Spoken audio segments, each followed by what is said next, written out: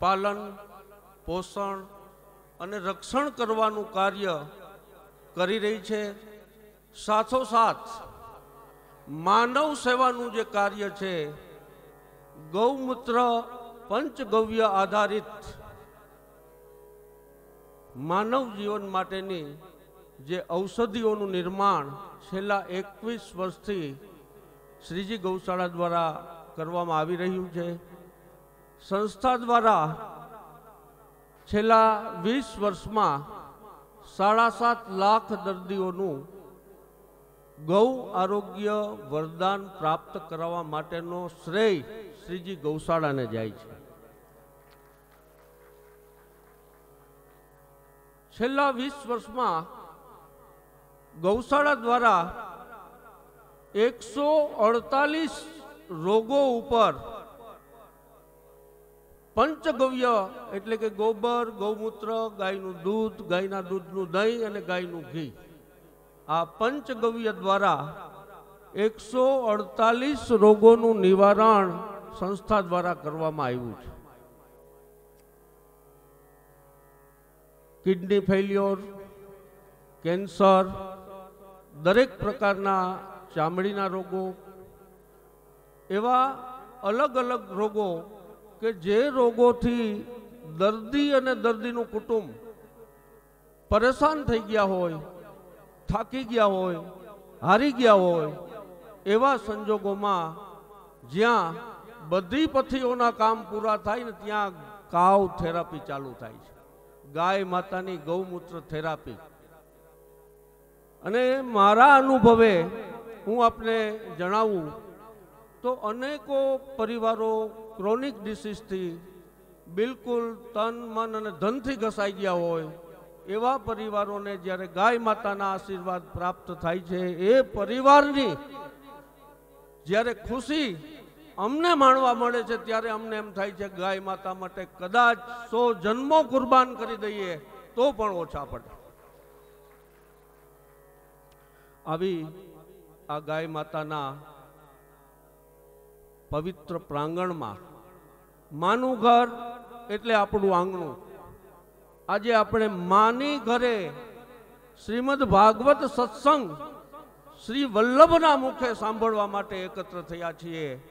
ત્યારે હું એમ માની શકું કે દુનિયામાં આપ બધાથી ભાગ્યશાળી કોઈ ન હોઈ શકે.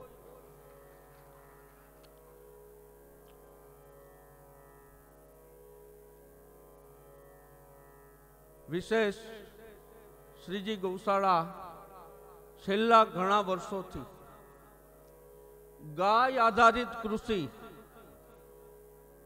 આપણા ખેડૂતો જે ખેતી કરે છે, એની અંદર રાસાયણિક ખાતરો અને રાસાયણિક જંતુનાશકોનો જે ઉપયોગ વિશેષ રૂપે કરતા થઈ ગયા છે, એને રોકી અને ગૌમૂત્ર અને ગોબર આધારિત સજીવ ખેતી કરવા માટે શ્રીજી શ્રીજી ગૌશાળા છેલ્લા એક દાયકાથી સતત પ્રયત્નશીલ રહી છે.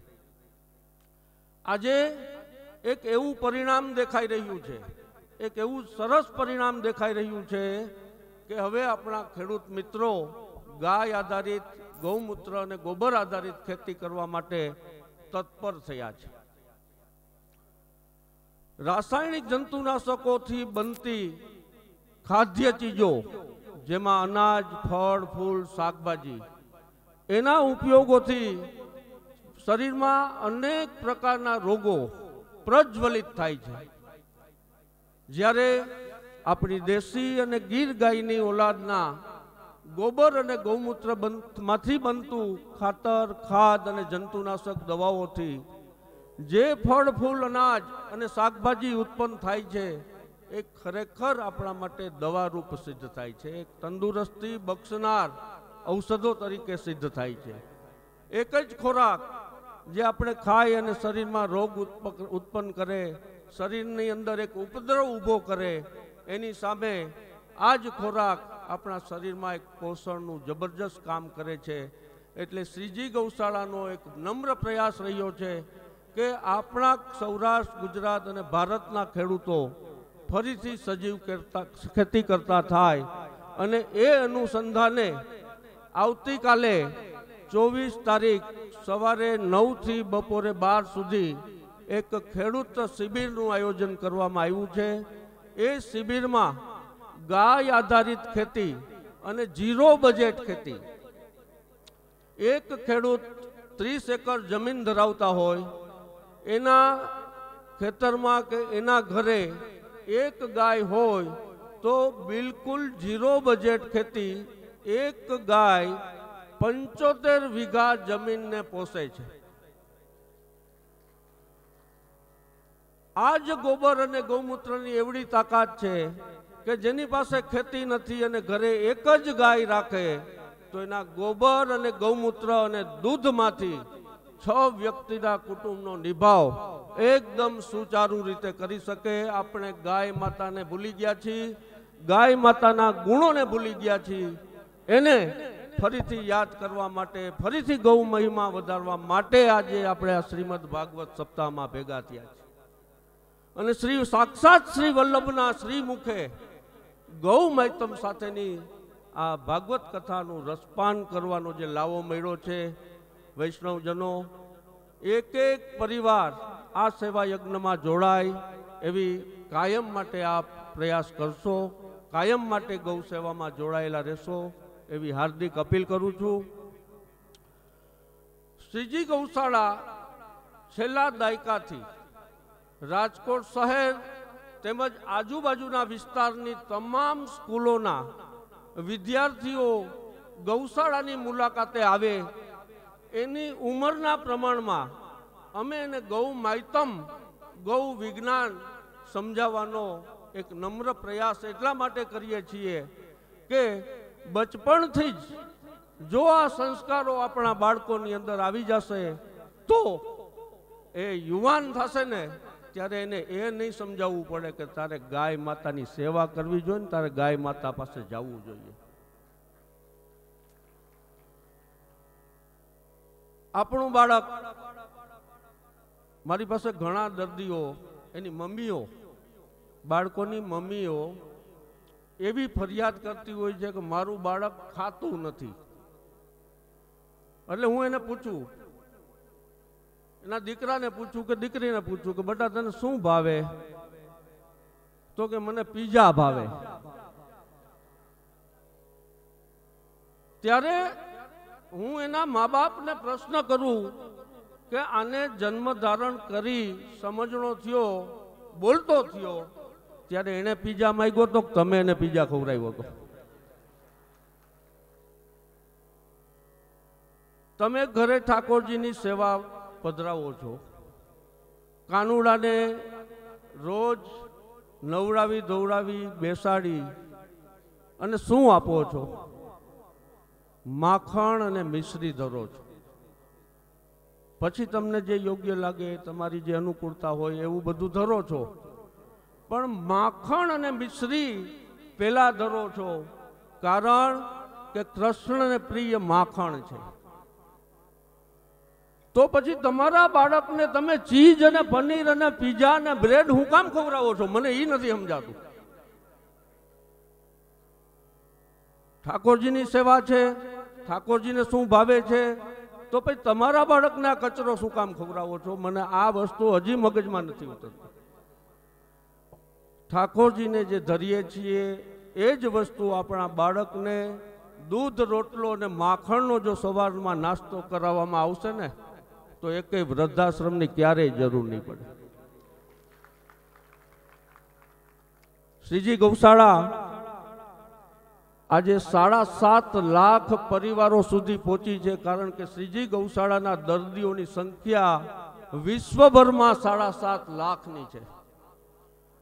એક એક દર્દી અને એના ઘરનાને સંપૂર્ણ નેગેટિવિટીમાંથી બહાર કાઢી, આખા પરિવારને પોઝિટિવ કરી, એને આહાર વિહાર, એની બીમારી ખોરાકના ફેરફારથી જ કઈ રીતે થાય?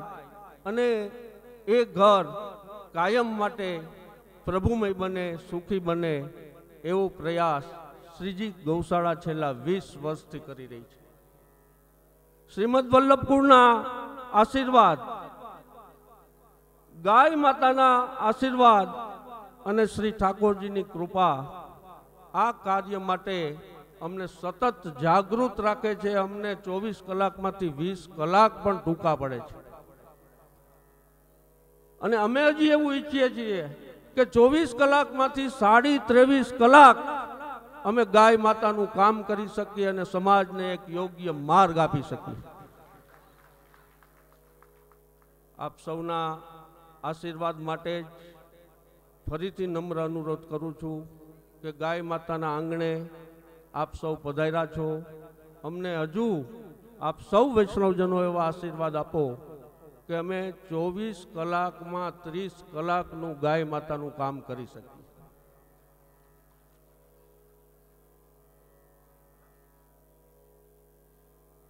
હજુ શ્રીજી ગૌશાળાની જે જે આપના આશીર્વાદથી એક નમ્ર તમન્ના છે કે ગુજરાત સરકાર અને ભારત સરકાર એક વિષય ગાય આધારિત અને પંચગવ્ય આધારિત બચપણથી જ બાળકોને મળે એવી અમારી સૌની લાગણી છે. અત્રે શહેરના અનેકો દિગ્ગજો, ગૌસેવકો હાજર છે. અમારી આ ભાવનાને પુષ્ટિ મળે એવો આપ સૌ પ્રયાસ કરશો, એવા સૌ અમને આશીર્વાદ આપશો.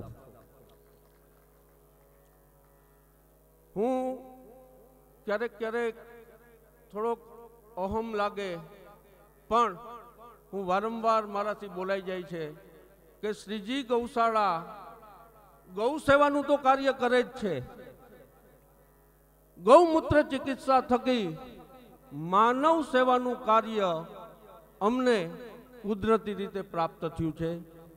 અને ગૌશાળા દ્વારા જે ગૌ સત્વ હમણાં જે જે જેમ આજ્ઞા કરી કે ગૌસત્વ નિર્મિત સાબુ, શેમ્પુ, ફિનાઇલ, અગરબત્તી એવી પચીસ પ્રોડક્ટ આપશ્રીની કૃપાથી ગૌશાળામાં અમે બનાવીએ છીએ. ઘર ઘરની અંદર ગૌસત્વ વપરાય. એક એક વ્યક્તિ એવો આગ્રહ રાખે કે ભાઈ મારે સાબુથી નાવું છે. તો ગાયના પંચગવ્યમાંથી બનેલો સાબુ છે, એનાથી જ નાવું છે. કારણ કે એક સાબુની અંદર ગાય માતાના તમામ ગવ્યો, પંચગવ્ય મને પ્રાપ્ત થાય. કારણ કે કેમિકલ યુક્ત સાબુ કે પશુ ચરબીથી બનેલા સાબુથી નાય અને હું મારા પ્રભુની સેવામાં બેસું તો મારા પ્રભુ મારો સ્વીકાર જ નહીં કરે. પશુ ચરબીથી બનેલા શેમ્પૂથી મારું માથું ધોઈશ. તો મારી બુદ્ધિને શું થશે? તો ગૌમૂત્રમાંથી બનેલું શેમ્પૂ, એનાથી હું મારા માથાને, મારા વાળને ધોઈશ ને, તો મારી બુદ્ધિને પણ શાંતિ મળશે અને મને મનની પણ શાંતિ મળશે. ત્રીજી સૌથી મહત્વની વાત એ છે કે ગૌસત્વના વપરાશથી આ દેશનું કરોડો અબજો રૂપિયાનું ઊંડિયામણ બચાવી અને આપ લોકો કુદરતી રીતે દેવ, દેશની સેવામાં પણ જોડાઈ શકશો. તો શ્રીજી ગૌશાળાને ગૌ સેવા, માનવ સેવા અને દેશ સેવા આવો ત્રિવેણી સંગમ પ્રાપ્ત થયો છે એ સાક્ષાત શ્રી ઠાકોરજીનો અહીંયા વાસ છે ને. એટલે આવા ત્રણ ત્રણ સેવાના કાર્યો આ સંસ્થા કરી રહી છે. એક સંગમ ઊભો થયો છે. સાક્ષાત શ્રી પ્રભુનો જે ઈશ્વરનો સાક્ષાત્કાર જેને આપણે કહીએ, એવો અનેકો સાક્ષાત્કાર આ ભૂમિમાં અમને મળ્યા છે. એની જો વાત કરવા બેસીએ ને, તો સાત દિવસ બીજા લાગે.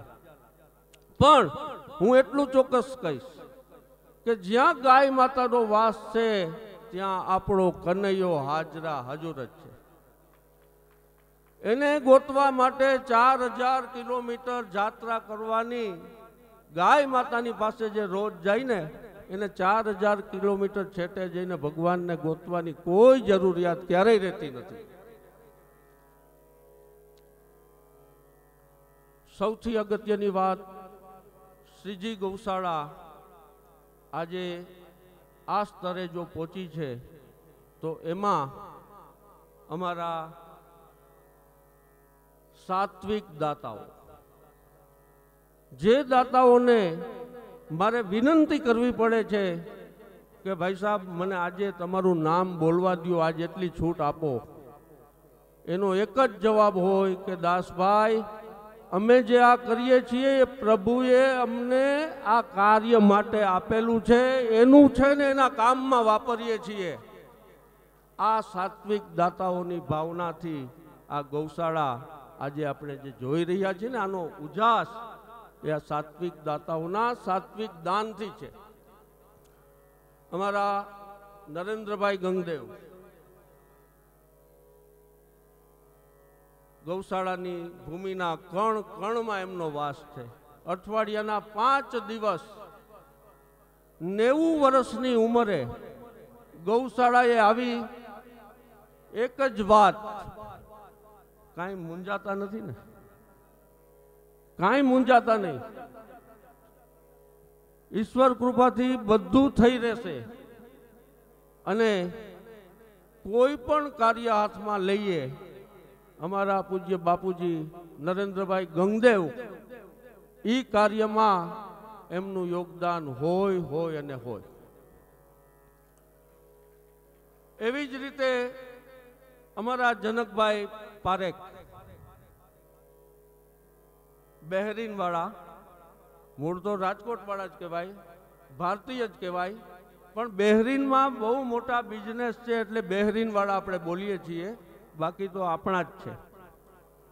એ જનકભાઈ પારેખ, બહેરીનથી જ્યારે આવે, ત્યારે રાજકોટ ઉતરીને પહેલા ગૌશાળા આવે. હું આટલા વર્ષોથી જોતો આવું છું. એ સવારે ઉતરા હોય અહીંયા. દસ વાગે રાજ ગૌશાળામાં હોય. આવી પેલા ગાય માતાના દર્શન કરે. પછી એક જ પ્રશ્ન, દાસભાઈ, બધું બરાબર ચાલે છે? હું બધું બરાબર ચાલે છે. તો પણ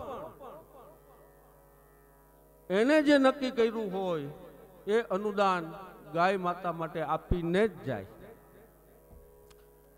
આજે આ શ્રીમદ ભાગવત સપ્તાહ જ્ઞાન યજ્ઞ નિમિત્તે એમણે રૂક્ષ્મણી વિવાહનો મનોરથ એમના પરિવાર થકી લખાવ્યો છે. કારણ એમને ત્યાં જે લાલન બિરાજે છે, એ લાલન પૂજ્ય દર્શન બાવાએ પધરાવ્યા છે. આ વાત જ્યારે જનકભાઈએ મને કરી કે, દાસભાઈ, પૂજ્ય જે જે આ લાલન મારે ત્યાં પધરાવ્યા છે અને એનો વિવાહ ખેલ મનોરથ મારે ગૌશાળામાં કરવો છે. આજે જનકભાઈએ નવ લાખ અને નવ હજાર રૂપિયાનું અનુદાન શ્રીજી ગૌશાળાની ગાય માટે, ગાય માતા માટે રૂક્ષ્મણી વિવાહ પ્રસંગ માટે ગાય માતાને ચરણે ધરેલ છે.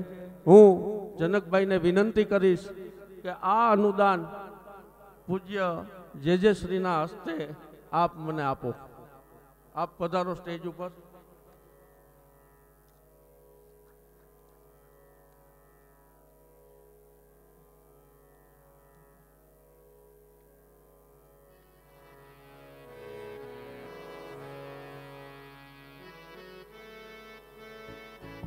અમારા વિજયભાઈ કોટક. આજે કંઈ બહાર હોવાથી આવી નથી શક્યા, પણ સતત ગાય માતાની ચિંતા, કાયમ માટે એક જ વાત, દાસભાઈ, આપણી ગાય માતા બધી સુખી છે ને? અઠવાડિયામાં બે વાર આવે તો બે વાર પણ ગાય માતા માટે આપતા જાય. એક વાર આવે, પંદર દિવસે આવે, પણ કંઈક ને કંઈક અનુદાન ગાય માતા માટે એવી રીતે આપતા જાય. અને એવી શુભેચ્છાથી કે આપણી ગાય માતા કાયમ માટે સુખી રહીએ હું અમારા ગૌશાળા ટ્રસ્ટી મંડળના પ્રભુદાસભાઈ, જયંતિભાઈ નગદિયા અને વિનુભાઈ ત્રણેયને નિવેદન કરીશ, મંચસ્થ થઈ અને પૂજ્યશ્રીના શ્રી હસ્તે આ અનુદાન સ્વીકાર કરશે. જનકભાઈ પારેખ, દાસભાઈએ વાત કરી, એમની સરાહના કરી કે ઘણા બધા વર્ષોથી અમારી સાથે જોડાઈ. અહીંયા બ્રજ વસંત મંગલ ભવન, એમના અનુદાનથી સેન્ટ્રલી એસી હોલ આપણે ગૌશાળામાં બનાવ્યો છે. જે જનકભાઈ પરિવાર એમના પિતાશ્રી પ્રભુદાસભાઈ પારેખ અને એમના માતુશ્રી વસંતબેનની સ્મૃતિમાં એમના યોગદાન દ્વારા સુંદર મજાનો સેન્ટ્રલી એસી ભવન અમારા પારેખ પરિવાર દ્વારા સિદ્ધ થયું છે. અને આજે નવ લાખ ને નવ હજાર રૂપિયા શ્રી રૂક્ષ્મણી વિવાહ ઉપક્રમે આપ વિનિયોગ કરાવી રહ્યા છીએ. આપનો ખૂબ ખૂબ આભાર. દાસભાઈને નિવેદન કરીશ. એમના વક્તવ્યને આગળ વધારશે દાસભાઈ.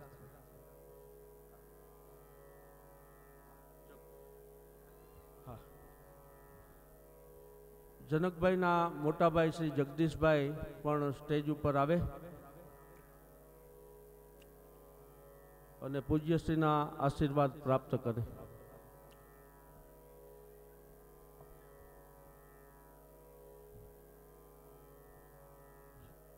મારા જીવનનો એક મનોરથ હતો, મનોરથ. એ મનોરથ એ હતો કે રમેશભાઈ દડુક શ્રીજી ગૌશાળા અને અમારી સાથે જોડાય. આ મનોરથ કેટલા વર્ષનો હતો વાત કરું? નવ વર્ષનો મારો આ મનોરથ હતો. પૂજ્યશ્રીના આશીર્વાદથી શ્રીમદ ભાગવત સપ્તાહનું આયોજન થયું. રમેશભાઈએ અમને નવરાત્રિ દરમિયાન જે બહુ મોટું આયોજન રમેશભાઈ કરે છે એ આયોજનમાં અમને બોલાવ્યા. અમે શ્રીમદ ભાગવત સપ્તાહની રજૂઆત કરી. એટલે મને કે કાંઈ વાંધો નહીં દાસભાઈ. મેં કીધું, ભાઈ, રમેશભાઈ, અમે પ્રતિજ્ઞા એ લીધી છે કે મળવા જવું, પણ માગવું નહીં. મને કે હું તમારો જ છું શ્રીજી ગૌશાળાનો પાંચ લાખ એકાવન હજાર રૂપિયા મુખ્ય મનોરથી તરીકે મારા લખી લ્યો. અને અત્યારે અત્યારે મને એને ખાનગીમાં બીજી વાત કરી કે હજી આપણે જે કરવાનું છે ને તમારે કાલે જાહેર કરવાનું, આજ બોલતા નહીં. કાલે પ્રભુ એને શું પ્રેરણા કરી એ આપણે કાલે જાહેર કરશું એમની પાસેથી જાણીને પણ રમેશભાઈ જોડાઈ ગયા ને, એટલે અમને કાયદેસર રમેશભાઈ પાંખું આવી ગઈ. હવે આ ગૌશાળાને વિશ્વ સ્તરે પહોંચાડવામાં દુનિયાની કોઈ તાકાત અમને ન રોકી શકે. ખૂબ જ આનંદની વાત એ છે કે જેની અપેક્ષા હું તમને વાત કરું ને, તો મૌલેશભાઈ ઉકાણી અને હું આમ રોજ સામ સામે, રોડને આ કાંઠે મૌલેશભાઈ અને આ કાંઠે હું હોઉં. મળી શકીએ ઓછા. મારો બીજો મનોરથ આ હતો કે મૌલેશભાઈ ગૌશાળાએ આવે અને અમારી સાથે જોડાય. કારણ કે રમેશભાઈ, મૌલેશભાઈ આવા પરમ પવિત્ર ગૌસેવક મિત્રો અમારી સાથે હોય એ શ્રીજી ગૌશાળાની ગરિમા છે.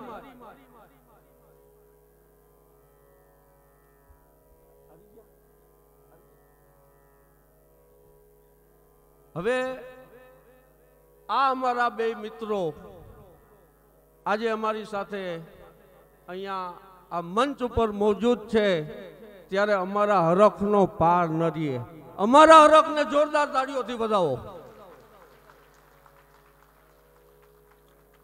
કારણ કે નવ નવ વર્ષના મનોરથ જ્યારે શ્રી ઠાકોરજીની કૃપાથી ને પૂજ્યશ્રીના આશીર્વાદથી પૂર્ણ થતા હોય, ત્યારે ગૌશાળાના આંગણામાં આજે ખરેખર અમને વ્રજનો આનંદ મળે.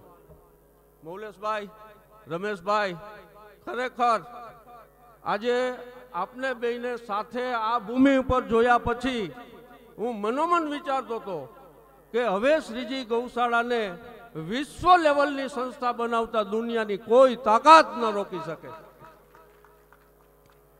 એ જ રીતે આફ્રિકાના અમારા ઘનશ્યામભાઈ જોબનપુત્રા એ પણ કુદરતી બે દિવસ પહેલા જ આવી અને પાછા આફ્રિકા ગયા. ખૂબ ખૂબ શુભેચ્છાઓ. આ પ્રસંગ નિમિત્તે ગૌશાળાને અમને સૌને પાઠવી છે. દાતાઓ જે આપે છે, અમારા પૂજ્ય બાપુજી નરેન્દ્રભાઈ ગંગદેવ એમ કહે છે કે તમને હું એવી સગવડતાઓ ઊભી કરી દઉં કે એ સગવડતાઓને તમે સાચવો, એમાંથી ઉપાર્જન કરો અને રોજે રોજ એમાંથી ગૌ સેવા થાય. તો દાતાઓના આ અભિગમને કાયમ જાળવી રાખવા માટે શ્રીજી ગૌશાળાએ બે ભવ્ય હોલનું નિર્માણ કર્યું છે. બે ભવ્ય હોલનું નિર્માણ કર્યું છે. આ જગ્યામાં વર્ષના ઓછામાં ઓછા સાઠેક પ્રસંગો થાય છે. લોકો ખૂબ જ આનંદથી, શ્રદ્ધાથી કે ગાય માતાના સાનિધ્યમાં અમારા સંતાનોના લગ્ન અમે કરીએ અમે પણ પરમ ભાગ્યશાળી છીએ. એમ બોલી આ જગ્યાનો એવો સદુપયો- સદુપયોગ થાય છે. એમાંથી જે આવક થાય છે, એ ગાય માતાના નિભાવ માટે થાય છે. એટલે પુણ્યનું ભાથું બાંધી અને નવયુગલ જ્યારે પ્રભુતામાં પગલાં માંડે છે ને, ત્યારે એને જોવા માટે દેવો પણ પુષ્પવૃષ્ટિ કરે છે. કેવડું અજોડ કાર્ય? પોતાના સંતાનો પ્રભુતામાં પગલાં માંડે છે અને એ પણ ગાય માતાની દિવ્ય અને પવિત્ર ભૂમિમાં. આ બંને વેવાય પક્ષના લોકો જ્યારે પોતાનો અહોભાવ વ્યક્ત કરતા હોય છે ને, ત્યારે આપણને એમ થાય છે કે ધન્ય છે અમારા દાતાઓ. ધન્ય છે અમારા દાતાઓ કે જેને અવળી સગવડતા આ સંસ્થામાં ઊભી કરી, હજારો લાખો લોકોને પ્રસંગો નિમિત્તે પણ શ્રીજી ગૌશાળામાં આવતા કરી દીધા છે. અહીંયા આવે, કંઈક ને કંઈક પ્રેરણા થાય. ગૌસત્વની ચીજો જેટલી બને છે, એ ઘર ઘરમાં વપરાય. આ પુણ્યનું ભાથું અમારા બધા દાતાઓના ભાગ્યમાં જ જમા થાય છે. ધન્ય છે આ દાતાઓ. આ દાતાઓ સનિષ્ઠ દાતાઓના સહકારથી જે રીતે સંસ્થા ચાલે છે, એ રીતે સંસ્થાના ગૌ સેવક કાર્યકરો છે, એ કાર્યકરો પણ પોતાની પૂરી નિષ્ઠાથી દિવસ રાત જોયા વગર આ સેવા કાર્યમાં જોડાયેલા છે. એ સૌને પણ હું આ તકે મારા હૃદયની ભાવવંદના કરું છું. સમયની મર્યાદા છે. આજે અમે એક ભાવના લઈ અને અમારા ગોપાલ નમકીનવાળા. ભાઈ શ્રી બિપિનભાઈ અને એમના પરિવારને નિમંત્રણ આપવા માટે. કારણ કે એમના કિસ્સામાં પણ એવું જ હતું, જેમ મૌલેશભાઈ અને હું સામ સામે રહીએ છીએ. અને આટલા વર્ષે પૂજ્યશ્રીના આશીર્વાદથી મારો મનોરથ સફળ થયો. એવી જ રીતે બિપિનભાઈ અને એમનો પરિવાર અમે નિમંત્રણ આપવા ગયા. અમારા નિમંત્રણને માન આપી અને આજે ગોપાલ નમકીન પરિવાર, બિપિનભાઈ અને એમનો પરિવાર અત્રે પધાર્યા છે. આ તકે હું એમનું હાર્દિક અભિવાદન કરું છું. ખૂબ ખૂબ ધન્યતા અનુભવું છું બિપિનભાઈ અને આપના પરિવારના આગમનથી. હવે સમયની મર્યાદા છે. મારી પાસે એટલી બધી વાતો છે, એટલી બધી વાતો છે કે કદાચ સાત દિવસ પણ ટૂંકા પડે. અમારા વિનુભાઈ દત્તાણી, રમેશભાઈ, મૌલેશભાઈ, બાવીસો ખુરશી મેં અઠવાડિયા પહેલાં આ કાર્યક્રમ નિમિત્તે આપણા રમણભાઈ વરમોરા પાસેથી મગાવી લીધી કે ભાઈ પૈસા થાય ત્યારે દઈશ. અમારા વિનુભાઈ દત્તાણી પરમ દિવસે મને ખાલી એટલું જ પૂછ્યું કે આજે કંઈક ચિંતાની રેખા દેખાય. ચિંતાની રેખા બીજી કાંઈ નથી. આ બાવીસો ખુરશી લીધી ને એનું કીધું વિચારું છું, હવે કેમ આયોજન કરવું? દસ જ મિનિટમાં સવા તેરસો ખુરશી એણે મને લખાવી દીધી પોતાના મિત્ર મંડળમાં અને પોતાની.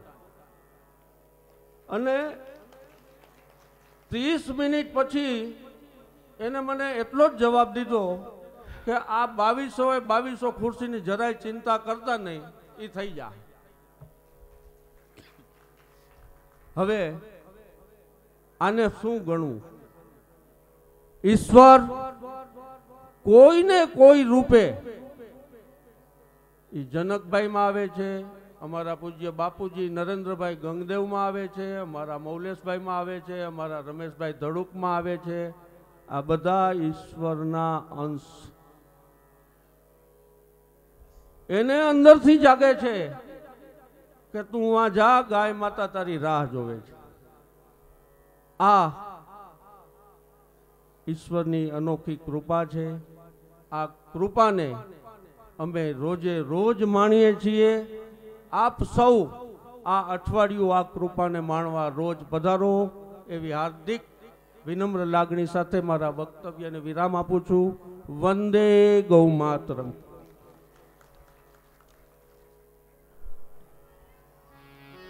આ હતા, જાણીતા ગૌમૂત્ર ચિકિત્સક અને અમારી ગૌશાળાના મેનેજિંગ ટ્રસ્ટી માનનીભાઈ શ્રી પ્રભુદાસ તન્ના.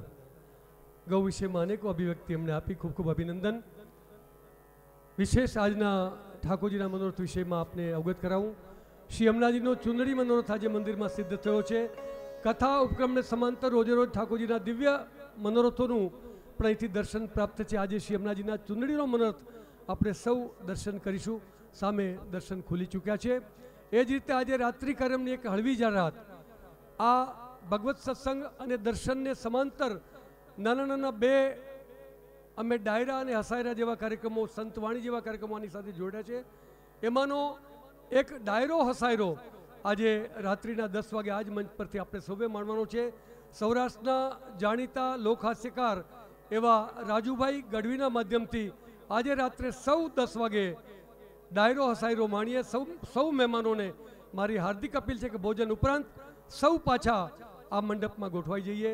આપણું સત્સંગ સત્ર પૂજ્યશ્રીના મધુર શ્રીમુખે આપણે શ્રવણ કર્યા છે. આવો પૂજ્ય પાસી ગોવર્ધનેશજી મહોદયશ્રીને નિવેદન કરીએ. હે પ્રભુ, હે વિભવ, આપની વાગધારા પુનઃ પ્રવાહિત સવિત કરી અમારા કરણોને પવિત્ર કરો. પૂજ્ય પાસી ગોવર્ધનેશજી મહોદયશ્રી. शिवल्लभाधीश की जय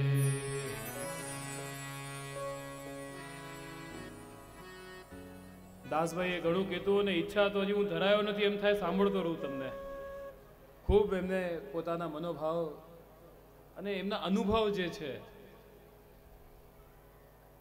અને શ્રીજી ગૌશાળાના માધ્યમથી ગૌ સેવા માનવ સેવા અને એમ પણ ગૌ સેવા કરે એમાં માનવ સેવા આવી જ જાય આખું ગાય એ વિશ્વમય છે. અને ખૂબ આનંદ થયો શ્રીજી ગૌશાળાના માધ્યમથી શું શું પ્રવૃત્તિઓ. અને ઘણા બધા એમને મનોભાવો બાળકોને પણ અહીંયા સ્કૂલથી બોલાવવાનો આગ્રહ રાખે છે. નાનપણથી એને ગૌ મહાત્મ્ય વિશે એને સમજાય એ વાત માટે શ્રીજી ગૌશાળા પ્રવૃત્ત છે. ઘણી બધી વાતો એમને કરી અને ઘણું બધું એમને કીધું, બાકી છે, હું તો કહું, રોજ દસ દસ પંદર મિનિટ બોલો આપ. ખૂબ, હું તો અહીંયા, આપણું જ આપણું જ છે. રોજ મનોભાવ એમના પ્રગટ કરો અને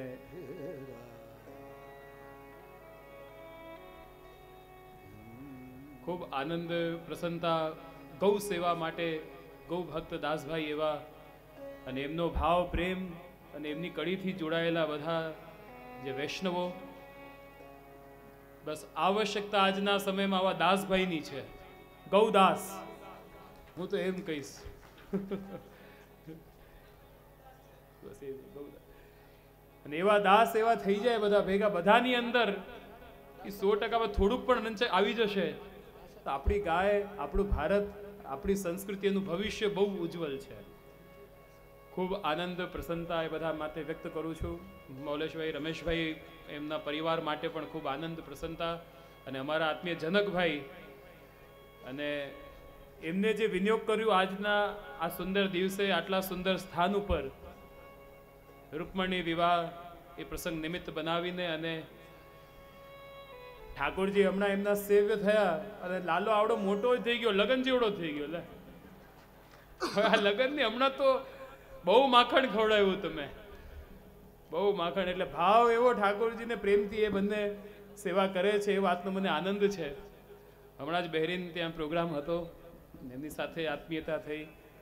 ઠાકોરજી પધરાવ્યા અને એ જ પ્રભુની પ્રેરણાથી આટલું સુંદર યોગદાન, મને ખૂબ આનંદ એ વાતનું થાય છે કે હવે એને પરણાવવાની વ્યવસ્થા ચાલુ થઈ ગઈ. તો ખૂબ આનંદ પ્રસન્નતા વ્યક્ત કરતા ઠાકોરજી બસ આવા વૈષ્ણવને ખૂબ અલૌકિક આવું સામર્થ્ય અને ખૂબ સારું મન આવી રીતે જ આપતા રહે. ધર્મ સંપ્રદાયના કાર્યમાં સદા આગળ રહે. સામે ચાલીને, જેમાં શ્રીજી ગૌશાળામાં સામે ચાલીને લોકો આવીને પોતાનો સેવા ભાવ મનોભાવ પ્રગટ કરતા હોય છે. આ ગૌ માતાનું મહત્વ છે. આમાં બીજું કઈ? ગૌ માતાની કૃપા છે. એ બધાને ખેંચે છે. જેમ કર્ષયતી કૃષ્ણ તો ગૌ યાની કૃષ્ણ કૃષ્ણ યાની ગૌ जैसे कृष्ण खींचे ऐसे गाय भी खींचती है તો આ ગાયોએ જે જે દાતાઓને ખેંચ્યા છે જેની ઉપર એમની વિશેષ કૃપા થઈ ને ગૌ એ કામધેનુ છે બસ આવી રીતે જ અલૌકિક કામ એમના દ્વારા થતા રહે ખૂબ પ્રસન્નતા વ્યક્ત કરતા આનંદ પ્રગટ કરતા આવો જે થોડોક સમય આપણી પાસે છે કથામૃતના થોડા પ્રસંગોને આપણે જોઈએ જેમ દાસભાઈએ કીધું કે રમેશભાઈ સાથે મીટિંગ થઈ પછી પાંખ આવી ગઈ. એટલે હવે આ કથા માટે મારે પાંખ જ લગાડવી પડશે. કારણ કે જો કાલે ચોથો દિવસ નંદ મહોત્સવનો આપણે બધા આનંદ લેવાનો છે. અને એ નંદ મહોત્સવ એટલે દસમ સ્કંદમાં અને હજી આપણે ક્યાં છીએ? એટલે બધાને ખબર છે, એટલે, અરે, ખબર ન હોત તો વાંધો ના ખબર. પ્રથમ સ્કંદ એમ ને? તો વિચારી લો તમે. કૃપા પંખી ઉપાય. જે જે પણ કથા તો અનંત છે, થોડા થોડા પ્રસંગોને આપણે લઈને આગળ વધીએ. આ પ્રથમ સ્કંદમાં પરીક્ષિતજી મહારાજે એ જે કલી પુરુષ એનો નિગ્રહ કર્યો.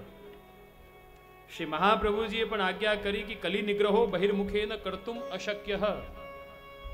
જે ભાગવત ભક્ત છે, એ જ કલયુગનો નિગ્રહ કરી શકે. અને પરીક્ષિત રાજા ભગવત ભક્ત છે, કલિયુગનો નિગ્રહ કર્યો એટલે અમુક સ્થાન જે પ્રસંગ આવે છે, અમુક સ્થાને કલી પુરુષને રહેવા માટે આપી દીધા કેમ કે જ્યાં એ પીડા થતી હતી ગૌને, બળદને, એ એનાથી સહેન ન થયું. અને ભાગવત ભક્ત, કારણ કે આ ગાય, બળદ એ ધર્મ છે, જ્યારે ધર્મને પણ હાનિ થાય, ભાગવત ભક્તોનું મન વિલાપ કરે છે. ઓલો તલવાર લઈને આમ ઓલા કલી પુરુષને મારવા માટે તૈયાર થઈ ગયા. એમ કથામાં આવે છે. ગૌની પૃથ્વીની રક્ષા કરવા માટે મને મને કુમનદાસજીના પુત્ર કૃષ્ણદાસજીનું સ્મરણ થાય છે. જેમ ગાયની રક્ષા કરવા માટે, બળદની રક્ષા કરવા માટે, ધર્મની રક્ષા કરવા માટે આમ જે પરીક્ષિતજીએ તલવાર કાઢી, એમ તમે સ્મરણ કરો કુમનદાસજીના પુત્ર પુષ્ટિ ભક્તિ માર્ગમાં વલ્લભ આચાર્યોનું એમના સેવકોનું બહુ મહદ યોગદાન છે. ગૌ સેવામાં. કુમનદાસજીના પુત્ર કૃષ્ણદાસજી ગાયોની સેવા કરતા. ગાયોને ચરાવવા લઈ જાય. બધી ગમાણ બધું સાફ કરે. અને હજારો ને હજારો ગાય ને એમાં એક એવી ભારી વિશાળ કાય સ્વરૂપ અને એવા ભારી ભારી થન એના એ બહુ ધીમી ધીમી ચાલે. અને ઈ ગાય પાછળ પાછળ ઓલી બધી આગળ તો ઓલો એ ગાયને હાંકતા હાંકતા સાથે સાથે કૃષ્ણદાસજી. ઓલી બધી તો ખીરકમાં પહોંચી ગઈ. પણ આ ધીમે ધીમે હાલે. ત્યાં શું થયું? પૂછરીના ભાગમાં તે ગિરાજની તરેટીમાં સિંહ આવ્યો. સિંહ જ્યાં એ ગાય ઉપર પ્રહાર કરવા જઈ રહ્યો છે, ત્યાં જ આને લલકાર્યા કૃષ્ણદાસે. અરે ઓ ધર્મી, તારે જો મારવું હોય તો તું મને માર. અને અને સિંહની એક પ્રવૃત્તિ, એની વૃત્તિ હોય છે, પ્રકૃતિ છે કે જે એને લલકારે. સિંહ એની ઉપર જાય. એ ગાયની રક્ષા કરવા માટે સિંહનો સામનો કર્યો કૃષ્ણદાસજીએ કે તારને કઈ પણ ઈચ્છા હોય તું મારું સેવન કર, તું મને માર. જ્યાં એ લલકાર્યો સિંહ એની ઉપર આવે છે અને ઓલા ગાયને આમ એને હાંકીને એને ખીરક સીધી દોડતી દોડતી એ ખીરકમાં વહી ગઈ પોતાના સ્થાન ઉપર અને આ સિંહે સીધા કૃષ્ણદાસજી ઉપર પ્રહાર કર્યો. ગૌ માતા એની રક્ષા માટે કૃષ્ણદાસજીએ પોતાના પ્રાણના નોછાવર કરી દીધા. પોતાના પ્રાણની પણ ચિંતા ન કરી. અને એ સમાચાર જ્યારે કુમનદાસજીના ને એ સમયે ગોપીનાથજીને જે અન્ય જે ગૌ ભક્ત હતા, જ્યારે ગાયનું દૂધ કાઢતા હતા, દોહન કરી રહ્યા હતા, એ સમયે એમને શું જોયું? કે એ જે મોટી, એ જે બૃહદ કાય એક જે ગાય હતી, એનું દોહન કોણ કરે છે? સાક્ષાત શ્રીનાથજી બાવા. અને એના વાછડાને લઈને કૃષ્ણદાસજી ત્યાં ઊભા છે. શ્રીનાથજી બાવા દોહન કરી રહ્યા છે. એવા દર્શન એ સમયે ગૌ ભક્તને થયા. સમાચાર મળ્યા કુમનદાસજીને કે તમારા પુત્ર હે, સિંહને માર્યો છે. સાંભળતા જ મૂર્છિત થઈ ગયા. અને ગુસાઈજીને જ્યારે ખબર પડી, આ સમાચાર મળ્યા કે કૃષ્ણદાસજીનો દેહ તો ત્યાં પડ્યો છે. પૂછરીના આગળ ગુસાઈજી કહે, એમ ન બોલો. એમને ગાયની રક્ષા કરતા એમના પ્રાણના નોછાવર કર્યા છે અને ગાય એ એમના જીવને ક્યારે આવી રીતે છોડે જ નહીં. ગાય એમને પોતાના નિજ ધામમાં લઈ જશે. એમને ગોલોક ધામમાં ગૌ માતા એ કૃષ્ણદાસજીને લઈ જશે. એમને પડ્યો છે ને ગૌ માતા હંમેશા પોતાના જીવોનું ધ્યાન રાખે છે. આપણા વાર્તા સાહિત્યમાં આપણા ભગવદીઓ એવા ઘણા એવા થયા કે જેમને ગૌ માતા માટે પોતાનું સમસ્ત નુછાવર, પ્રાણનું પણ નુછાવર કરી દીધું. ગૌ રક્ષા માટે એવા સજાગ હતા. કારણ કે ભગવદ ભક્ત છે. એવા જ ભગવદ ભક્ત અહીંયા પરીક્ષિત રાજા. રક્ષા માટે ઊભા થયા અને કલિયુગ એમની શરણમાં આવ્યો. ચાર સ્થાન રહેવા માટે એમને આપી દીધા.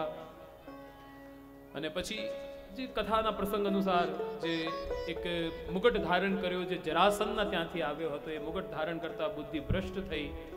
અને શમિક ઋષિનો અપરાધ કર્યો, શૃંગી રાશિ દ્વારા એમને શ્રાપ લાગ્યો. સાત દિવસ, સાતમા દિવસે એમને તક્ષક દ્વારા મૃત્યુ થશે. આ સમાચાર પરીક્ષિત રાજાને ખબર પડી અને પછી પરીક્ષિત રાજા પોતાના પુત્ર જન્મ જઈને રાજ્યાભિષેક કરીને સીધા ગંગાજીના તટ પર આવ્યા. ઋષિ મુનિઓને પૂછવા લાગ્યા કે, હવે આ શ્રાપમાંથી કેવી રીતે હું મુક્ત થાઉં? કઈ રીતે મારો ઉદ્ધાર થાય? અને એ જ સમયે ભગવદ ઈચ્છા શક્તિથી શ્રી સુખદેવજી મહારાજનું ત્યાં આગમન થયું. બાળકોથી બધા ઘેરાયેલા, આમ મોટા મોટા કેશ ઘુંઘરાલે, લંબી લંબી ભુજાએ વિશાલ ઉરસ્થલ. અને એવા શ્રી સુખદેવજી મહારાજે સભામાં પધાર્યા. એમને જોઈને પૂરી સભા ઊભી થઈ ગઈ. અને દિવ્ય ઊંચું આસન સુખદેવજીને આપ્યું. સુખદેવજીને જોઈને પરીક્ષિત મહારાજે સાષ્ટાંગ દંડવત લગાવી. હાથ જોડીને હવે ઊભા છે. અને પ્રશ્ન કર્યા, બોલીએ શ્રી સુખદેવજી મહારાજ શ્રી સુખદેવજી મહારાજ શ્રી સુખદેવજી મહારાજ સુખદેવજીને સુંદર પ્રશ્ન કર્યા પરીક્ષિત રાજાએ, કે હે ગુરુવરે, મને એ બતાવો કે જીવનું કલ્યાણ શેમાં છે? અને બીજો પ્રશ્ન કર્યો કે જેની મૃત્યુ સમીપ હોય એને શું કરવું જોઈએ? જો આ પ્રશ્નોના ઉત્તર આપણા બધા માટે જાણવા ખૂબ આવશ્યક છે, કારણ કે મનુષ્ય જન્મ મેળવીને આત્મ કલ્યાણ આપણે બધાનું કરવાનું છે. અને મૃત્યુ સમીપ તો આપણે બધા જઈ જ રહ્યા છે. આ એક એક શ્વાસ સાથે, જન્મની સાથે મૃત્યુ તરફની યાત્રા આપણી પ્રારંભ થઈ જાય છે. એ પ્રશ્ન સાથે જ પ્રથમ સ્કંદ ત્યાં પૂર્ણ થાય છે અને દ્વિતીય સ્કંદ સાધન લીલા અંતર્ગત ક્ષણભંગુર જીવનમાં ભાગવદ યુક્ત કઈ રીતે થવું? એના શું શું સાધનો છે? એ સાધનોનું નિરૂપણ આ દ્વિતીય સ્કંદમાં કર્યું. એટલે આ દ્વિતીય સ્કંદ સાધન લીલા કહેવાય. આને જ્ઞાન લીલા પણ કહેવાય છે. અને સુખદેવજી કહે છે કે રાજન, આ ક્ષણભંગુર જીવનમાં ભગવદ યુક્ત થવાના ત્રણ સાધનો એમને બતાવ્યા. શ્રવણ, કીર્તન અને સ્મરણ. ત્રણ સાધનોનું નિરૂપણ કર્યું. અને આ સાધન લીલા અંતર્ગત અષ્ટાંગ યોગનું વર્ણન કરવામાં આવ્યું છે કે અષ્ટાંગ યોગ દ્વારા ભાગવત પ્રાપ્તિનો એક વિશિષ્ટ માર્ગ સુખદેવજીએ પરીક્ષિતજીને બતાવ્યો છે. જીતાસનો જીત શ્વાસો જીત સંગો જીતેન્દ્રિય. એટલે જીતાસનો પ્રાણાયામ, અષ્ટાંગ યોગનો પ્રકાર આ દ્વિતીય સ્કંદમાં બતાવ્યો. પરીક્ષિતજી મહારાજે સુખદેવજીને સૃષ્ટિ સર્જનનો પ્રશ્ન કર્યો. અને જ્યાં સૃષ્ટિ સર્જનનો પ્રશ્ન આવ્યો, ત્યારે સૃષ્ટિના પ્રણેતા એવા શ્રી કૃષ્ણનું એમને મંગલાચરણ કર્યું. વસુદેવ વ્યાસજીથી ભાગવતજી મળ્યું એટલે વ્યાસજીને વંદન કર્યું. પરાશર ઋષિ એ સભામાં બેઠા હતા, એ પિતામહ એમનું વંદન કર્યું. અને સુખદેવજી કહે છે કે, રાજન, જેવો પ્રશ્ન સૃષ્ટિ સર્જનનો તમને થયો, એવો જ પ્રશ્ન એકવાર નારદજીને થયો હતો. બ્રહ્માજીને પૂછ્યું, અને બ્રહ્માજીએ જે નારદજીને કહ્યું, એ હું તમને કહું છું. સૃષ્ટિ સર્જનના ઇતિહાસનું વર્ણન કર્યું. બ્રહ્માજીએ કહ્યું કે બ્રહ્માંડ રૂપે એક અંડ સહસ્ત્ર વર્ષ નિર્જીવ રૂપથી જલમાં હતું. ત્યારે ભગવાને એ બ્રહ્માંડ રૂપ અંડ ને વિદીર્ણ થયું ને એમાંથી એક વિરાટ પુરુષ પ્રગટ થયો. એ જ વિરાટ પુરુષની નાવીમાંથી બ્રહ્માજી પ્રગટ થયા, કમલ પ્રગટ થયું, કમલમાંથી બ્રહ્માજી પ્રગટ થયા અને પછી બ્રહ્માજીને ભગવાને સૃષ્ટિ સર્જનની આજ્ઞા આપી. ત્યારે બ્રહ્માજી કહે છે કે, પ્રભુ, સૃષ્ટિ સર્જનનું કાર્ય કરું. એની પૂર્વ મારી અંદર પણ કંઈક યોગ્યતા હોવી જોઈએ. ચાર વસ્તુ બ્રહ્માજીએ માંગી ભગવાન પાસે. એક તો ભગવાન પરાવ જ્ઞાન, આપના અવતારોનું જ્ઞાન કરાવો. ક્રીડા જ્ઞાન, શિક્ષા જ્ઞાન, જે કાર્યની આપ મને આજ્ઞા આપો છો એનાથી અતિરિક્ત મારી બુદ્ધિ ન જાય. અને ગર્વાભાવ કે મારી અંદર અહંકાર ન આવે. કારણ કે મનુષ્ય આજે થોડું કંઈક કરે ને અભિમાન એની અંદર તરત આવી જતું હોય છે કે યે મેને કિયા, યે મેં કર્યું, આ મેં કર્યું. તો આટલું મોટું સૃષ્ટિ સર્જન હું કરું ને મારી અંદર અભિમાન આવ્યું તો? અને પછી ભગવાને, બ્રહ્માજીને પોતાનું ગોલોક ધામના દર્શન કરાવ્યા, બ્રજના દર્શન કરાવ્યા અને એ બ્રજની અલૌકિક આદિદેવિક સૃષ્ટિ જોઈને બ્રહ્માજી કૃતાર્થ થયા ને કહેવા લાગ્યા, પ્રભુ, હું ચાહું તો પણ આવી સૃષ્ટિ હું ન કરી શકું. અને પછી ચતુશ્લોકી ભાગવત દ્વારા ચાર શ્લોકી ભાગવત જેને કહેવાય છે. આખા ચતુશ્લોકી ભાગવત ભગવાને આ બ્રહ્માજીને આપ્યું ને આ ચતુશ્લોકી ભાગવત જ આખો આ વિસ્તાર આ ભાગવત છે. અને એ ચાર શ્લોકમાં બ્રહ્મ, જગત, જીવ અને માયા વેદાંતમાં આ ચાર વિષયો આવે છે. બ્રહ્મ શું છે? જગત શું છે? જીવ શું છે? અને માયા શું છે? ખૂબ એટલો ઇન્ટરેસ્ટિંગ આ વિષય છે વેદાંતનો. આપણી પાસે સમયનો અભાવ છે, પણ આ ચાર શ્લોક બહુ મહત્વના છે. આપણે ચાર શ્લોકોને જોઈએ સંક્ષિપ્તમાં. અહમેવાસ્મેવાગ્રે નાનિયદ સહ સત્પરો પશ્ચાદહું यो वशिष्येत सोऽस्म्यहम् ऋतर्धौ यत्प्रतीयेत न प्रतीयेत चात्मनि तद्विदाद्यात्मनो माया यथा वासो यथा तमः यथा महन्ति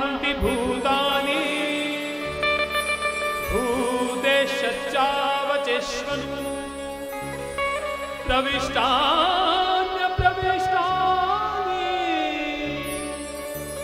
तथा तेषु न तेष्वहम्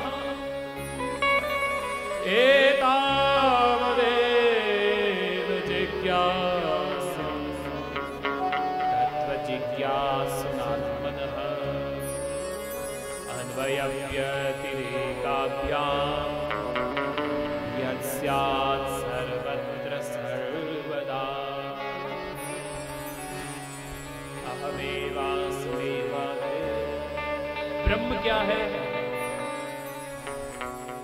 બ્રહ્મના ત્રણ સ્વરૂપ અહીંયા બતાવ્યા માયા વિદ્યા અવિદ્યા બે પ્રકારની માયા પંચ પરવા એ માયાનું નિરૂપણ કર્યું।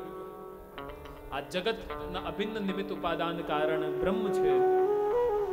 અને ભગવાન જ સચ્ચિદાનંદ સ્વરૂપથી આ સૃષ્ટિનો સચ્ચિદાનંદને આવિર્ભાવ અને તિરુભાવને લઈને આ જગત અને જીવની રચના કરે છે। ભગવાન સચ્ચિદાનંદ સ્વરૂપ છે. જ્યારે ભગવાન પોતાનામાંથી ચિદ અને આનંદ અંશને તિરોહિત કરે છે, તો ભગવાનના સદ અંશથી જગત ઉત્પન્ન થાય છે. જ્યારે ભગવાન પોતાનામાંથી આનંદ અંશ તિરોહિત કરે, તો એ સત અને ચિદ અંશથી જીવ પ્રગટ થાય છે. તો આ પ્રકારથી ભગવાન આ સૃષ્ટિમાં વિહાર ક્રીડા કરવા માટે આ લીલા વિહાર કરે છે. શ્રી મહાપ્રભુજી નિબંધમાં આજ્ઞા કરી, નમો ભગવતે તસ્મૈ કૃષ્ણાયાદભૂત કર્મણે રૂપ નામ વિભેદેન જગત ક્રીડતી ખૂબ જ મહત્વનો આ વિષય છે અને આની ઉપર વિસ્તાર કરવા જઈએ તો ઘણો સમય લાગે. તો બ્રહ્મ શું, જગત શું, જીવ અને માયા, એ વિષય ઉપર પ્રકાશ બ્રહ્માજીને કરાવ્યો. એ બ્રહ્મ દસ પ્રકારની લીલા કરે છે. અત્ર સર્ગો વિસર્ગશ્ચ સ્થાનમ પોષણ મુક્તય મન્વંતરેશાનુ કથા નિરોધો મુક્તિરાશ્રય આ બ્રહ્મ દસ પ્રકારની લીલા સર્ગ વિસર્ગ સ્થાન પોષણ ઉતિ મન્વંતર ઈશાનુ કથા નિરોધ મુક્તિ આશ્રય આ દસ પ્રકારની પ્રભુની લીલા છે, જે ત્રીજા સ્કંદથી લઈને બારમા સ્કંદ સુધી બતાવ્યું છે. અને એ જ દસ પ્રકારની લીલાનું વર્ણન ત્રીજા સ્કંદથી પ્રારંભ થાય છે, જેને સર્ગ લીલા કહેવાય છે. જ્યાં સૃષ્ટિ સર્જનની વાત આવી, એ સૃષ્ટિ સર્જનમાં મૈત્રી ઋષિ અને વિદુરજીનો સંવાદ આવે છે. જે તૃતીય સ્કંદ અંતર્ગત આવે છે. અને એ સમયની વાત છે, સુખદેવજી પણ કથામાં ત્રીજા સ્કંદમાં વર્ણન કરે છે કે ભગવાન શાંતિ દૂત બનીને જ્યારે હસ્તિનાપુર ગયા, પાંડવોને એમનો અધિકાર આપવાની વાત કરી, પરંતુ દુર્યોધન રાજી ન થયો અને પછી ત્યાંથી ભગવાન વિદુરજી સુલભાજીના ઘરે પધાર્યા. એમના મનોરથ પૂર્ણ કર્યા. વિદુરજીને સમાચાર આપ્યા કે યુદ્ધ થશે.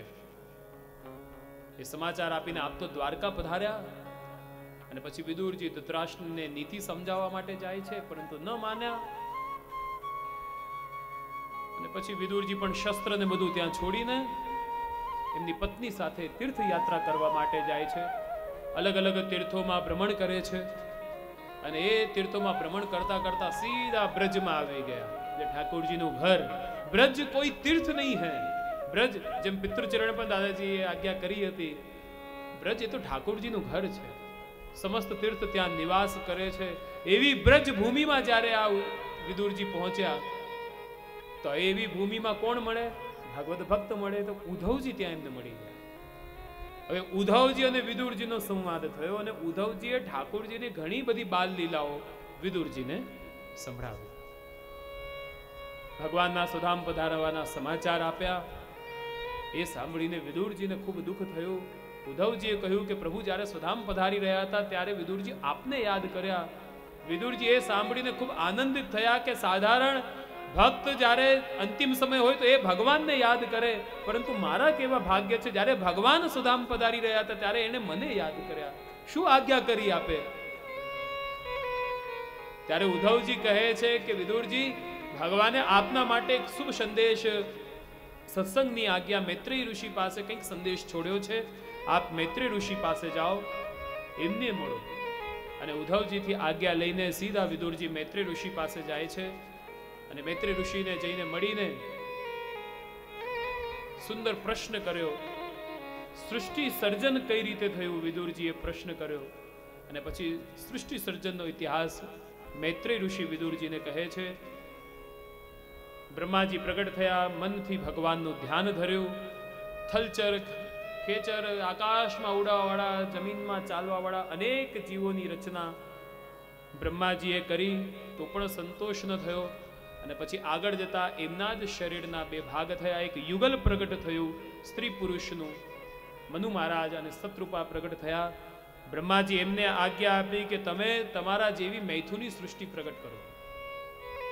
મનુ શત્રુપા કહેવા લાગ્યા, હે પિતા, આપ આજ્ઞા કરો છો, પ્રજા પ્રગટ કરીએ, સૃષ્ટિ પ્રગટ કરીએ, પરંતુ સૃષ્ટિને રહેવાનું સ્થાન એ તો પૃથ્વી છે અને પૃથ્વીનું હરણ કરીને ઓલો રાક્ષસ લઈ ગયો છે. પેલા પૃથ્વી તો સ્થિર થાય. અને બ્રહ્માજી જ્યાં આ વાતનો વિચાર કરી રહ્યા હતા, ત્યારે જ બ્રહ્માજીની નાસિકામાંથી વરાહ ભગવાન પ્રગટ થયા અને એ વરાહ ભગવાન પ્રગટ થઈને સીધા રસાતલ પાતાલમાં ગયા. પૃથ્વીને ઉપાડી ત્યાં જ ઓલો રાક્ષસ આવ્યો. ભગવાને એનો ઉદ્ધાર કર્યો અને પૃથ્વીને બ્રહ્માંડમાં સુરક્ષિત સ્થાપિત કર્યો. બોલીએ શ્રી વરાહ ભગવાન કી અને એ મનુ શત્રુપા એમને ત્યાં બે પુત્ર થયા. ઉત્તાનપાદ અને પ્રિયવ્રત અને ત્રણ કન્યાઓ થઈ, આકૃતિ, દેવહૂતિ અને પ્રસૂતિ. અહીંયા પછી વિદુરજીએ મૈત્રીને પ્રશ્ન કર્યો, ઓલો રાક્ષસ કોણ હતો? પછી એનો પરિચય આપ્યો કે હિરણ્યાક્ષ અને હિરણ્યાકશિપુ કઈ રીતે એમને શ્રાપ લાગ્યો એ કથાનું વર્ણન અહીંયા કરવામાં આવ્યું. આ મનુના પુત્રી દેવહૂતિનો વિવાહ કરદમ ઋષિ સાથે થયો અને નવધા ભક્તિ સ્વરૂપ નવ કન્યાઓ થઈ અને માતા દેવહૂતિથી સાંખ્ય શાસ્ત્ર પ્રવર્ત કરવા માટે કપિલ સ્વરૂપથી ભગવાન પ્રગટ થયા. બોલીએ શ્રી કપિલ ભગવાન કી કરદમ ઋષિએ જોયું કે જ્યાં એક પુત્ર થયા છે, એમને સંન્યાસ ગ્રહણ કર્યો. અને હવે માતા કપિલ ભગવાનના શરણમાં આવી પુત્ર ભાવ ન રાખતા મહાત્મ જ્ઞાનપૂર્વક બુદ્ધિ રાખીને સુંદર પ્રશ્ન કર્યો. સંસારમાં સાચું સુખ ક્યાં છે? આનંદ ક્યાં છે? અને પછી ત્યારે કપિલ ભગવાન અને માતા દેવહૂતિનો સુંદર સત્સંગ થયો, જેને કપિલ ગીતા કહેવાય છે. ભક્તિ કોને કહેવાય? ભક્તિનું સ્વરૂપ શું છે? કયા પ્રકારની ભક્તિથી ભગવાન પ્રસન્ન થાય છે? સાત્વિક, રાજસ, તામસ ત્રણ પ્રકારની ભક્તિ બતાવીને એમાંથી ચોથી ભક્તિ નિર્ગુણ ભક્તિ એ સર્વોત્તમ ભક્તિ છે. નિર્ગુણ ભક્તિની પ્રધાનતા કપિલ ભગવાને બતાવી. અને એ નિર્ગુણ ભક્તિથી ભગવાન પ્રસન્ન થાય છે. સંત ભક્તોના લક્ષણ શું છે? સોલહ લક્ષણ બતાવ્યા. તે તે ક્ષવ કારુણિક સૂર્યદઃ સર્વે વૈષ્ણવના લક્ષણનું નિરૂપણ કર્યું. અને પછી જે સ્થાન ઉપર દેવહૂતિનું મન શાંત થયું, માતાને સિદ્ધિ મળી સત્સંગના માધ્યમથી. એ માતૃ ગયા સિદ્ધપુર અને પછી માતાને આશીર્વાદ આપીને કપિલ ભગવાન સંગમ તીર્થ પૂરબ કી ઓર ત્યાં પધાર્યા અને સ્વાગત, સાગરે એમનું સ્વાગત કર્યું. આજે પણ આપણે ગંગા સાગરને ત્યાં જઈએ, ત્યાં કપિલ ભગવાનનું સુંદર એક મંદિર છે, જે ગયા હશે, એમને દર્શન કર્યા હશે. કપિલ ગીતાની ફલશ્રુતિ બતાવી કે જે આ કપિલ ગીતાનું શ્રવણ કરે છે, એ વક્તા શ્રોતાના સમસ્ત પાપ નષ્ટ થાય છે. આવો, તૃતીય સ્કંદ વિરામ કરીને ચતુર્થ સ્કંદમાં પ્રવેશ કરીએ. ચતુર્થ સ્કંદ, ધર્મ, અર્થ, કામ, મોક્ષ ચાર પ્રકરણોમાં શ્રી મહાપ્રભુજી આ ચતુર્થ સ્કંદને વિભાજિત કર્યો. વિસર્ગ લીલા બતાવી. વિસર્ગનો મતલબ સર્ગ એટલે સર્જન અને વિસર્ગ એટલે વિશિષ્ટ પ્રકારનું સર્જન ભગવાને કર્યું. સર્ગ વિસર્ગ લીલા ચતુર્થ સ્કંદ ધર્મ પ્રકરણમાં દક્ષ યજ્ઞની કથા આવે છે. એ દક્ષ જ્યારે પ્રમુખ બની ગયો, એને અભિમાન આવ્યું અને શિવજીનું અનાદર કર્યું, યજ્ઞનો ભાગ ન આપ્યો એ સમયે જે દિવ્ય યજ્ઞ થયું, સતીએ આત્મદાહ કર્યો. અને શિવજીને ક્રોધ આવ્યો. શિવજીના ક્રોધથી દક્ષ યજ્ઞનું વિધ્વંસ થયું.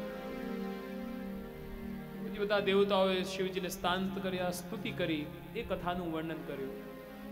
ખૂબ સુંદર કથા છે. એની ફલશ્રુતિ, એનું સાર જો સમજીએ સંક્ષિપ્તમાં, તો ધર્મ પ્રકરણમાં દક્ષ યજ્ઞ.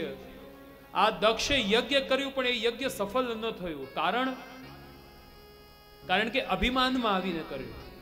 અધિકારની ભાવનાથી કર્યું. એટલે કોઈ પણ કાર્ય, સદકાર્ય વૈષ્ણવો, જો અભિમાનમાં આવીને કરશો, તો એનું ફલ ક્યારે મળતું નથી.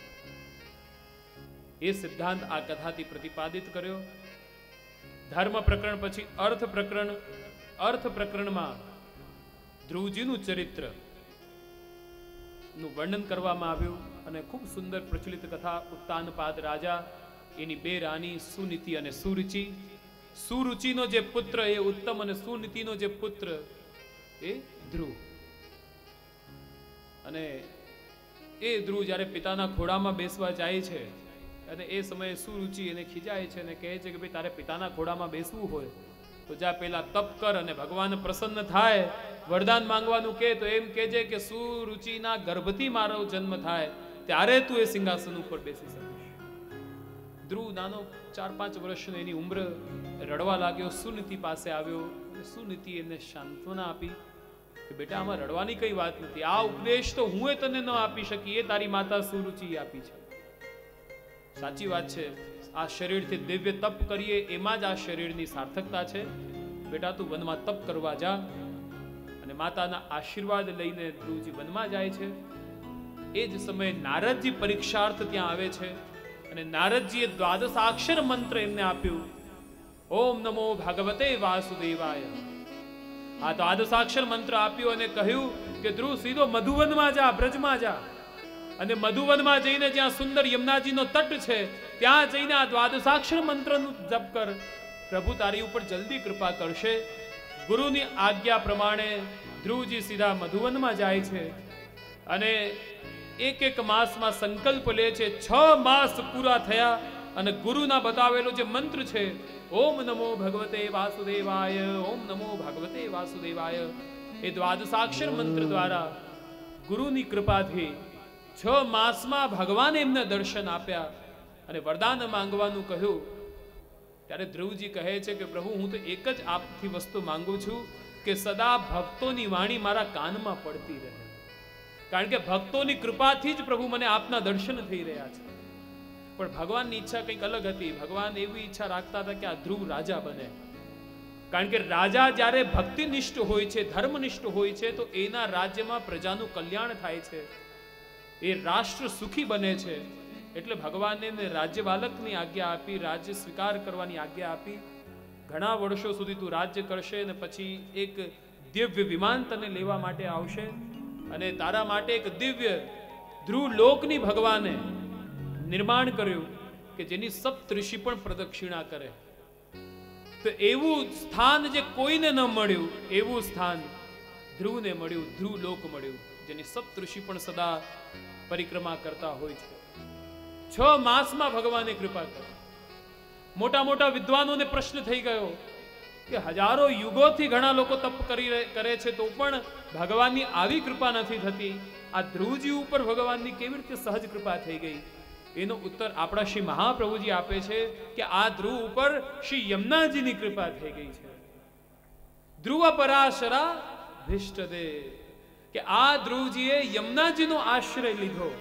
યમુનાજલનું સેવન કર્યું, બ્રજનો આશ્રય લીધો. અને જે જીવ બ્રજનો આશ્રય લે, ધ્રુવ, યમુનાજીનો આશ્રય લે એની ઉપર ઠાકોરજી તો સહજ એની ઉપર કૃપા વૃષ્ટિ કરતા જ હોય છે. તો આ બ્રજ ભૂમિનું મહિમા છે, આ યમુનાજીની કૃપા છે. શ્રી યમુનાજીની કૃપાથી ધ્રુવજીને ઠાકોરજીના દર્શન થયા.